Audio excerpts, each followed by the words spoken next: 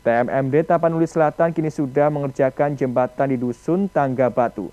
Rencana akan ada sembilan jembatan yang akan dibangun guna menghubungkan desa antar desa. Kegiatan TMMD terus berjalan sesuai rencana dan kali ini memasuki tahap pembangunan jembatan. Pembuatan jembatan yang direncanakan ada sembilan jembatan di desa Siuhum sudah terbangun satu jembatan yang rampung dan ini proses jembatan kedua.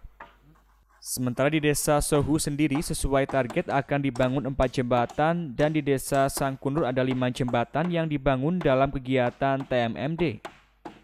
Dalam pembuatan jembatan tersebut, Satgas TMMD Kodim Tapanuli Selatan selalu melibatkan masyarakat setempat yang sudah ditunjuk oleh kepala desa. Dengan harapan selain menjalin gotong royong antar warga dan TNI, juga masyarakat nantinya akan merasa memiliki jembatan tersebut dan nantinya pemeliharaannya tetap terjaga. Banyak jembatan yang dibangun, Pak. Ya, kami dari Satgas Kodim 0212 Tapanuli Selatan merencanakan pembangunan jembatan ada 9 jembatan. Ya, di desa Sihou ada 4 jembatan. Di Sangkunur ada 5 jembatan. Jadi yang sudah terbangun di desa Sihou sekitar satu jembatan. Ini jembatan kedua sudah mau rampung dan akan dilanjutkan ke jembatan berikutnya. Selanjutnya rencana sampai penutupan jembatan ini seluruhnya akan terbangun sesuai dengan target dari Satgas Kodim 0212 Tapanuli Selatan.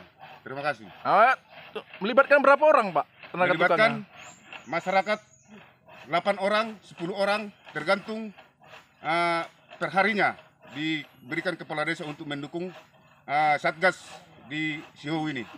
Oke, terima kasih, Pak. Proses pembuatan jembatan di Dusun Tangga Batu, Desa Siubuan, Kecamatan Angkola Barat, Kabupaten Tapanuli Selatan, pembangunan sedang berlangsung dan sampai saat ini belum menemukan kendala. Diharapkan selesai tepat waktu, target 9 jembatan akan rampung sebelum penutupan TMMD. Dari Tapanuli Selatan, tim liputan Satelit TV mewartakan.